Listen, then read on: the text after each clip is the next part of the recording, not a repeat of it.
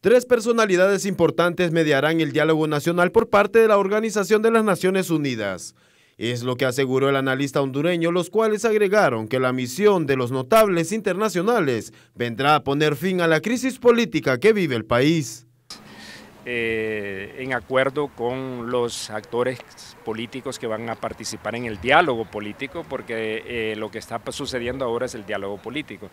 Entonces, si se mencionan algunos nombres y que esos tendrán que ser al final eh, ratificados por Naciones Unidas, entre ellos pues el expresidente de Guatemala, Marco Vinicio Cerezo Arevalo, el, expresidente de Panamá, Martín Torrijos, y la doctora Ana Catalina Soberanis, que fue, eh, fue presidenta del Congreso de Guatemala. Son los nombres que se marajan hasta este momento.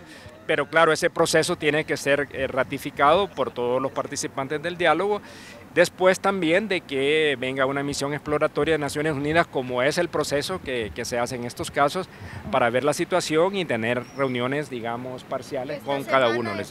Sin embargo, para Jorge Illescas, el diálogo es la única solución al conflicto, por lo que las dos partes deberán de ceder y así evitar enfrentamientos entre los mismos hondureños.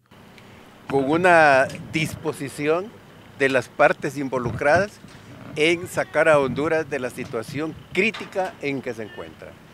Y en un sistema democrático, los grandes arreglos se hacen a través del diálogo. Solo con el diálogo es que se puede resolver el problema.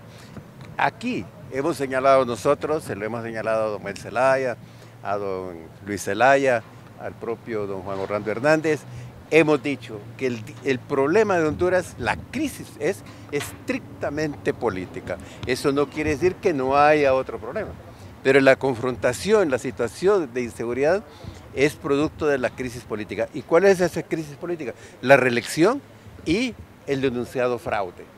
La situación cada vez es más compleja en el país, ya que la división del mismo por problemas políticos cada vez es más notable, situación que afecta directamente la economía hondureña. Con imágenes de Adalid Hernández, Orbin Aguilar, TNN, Igual División.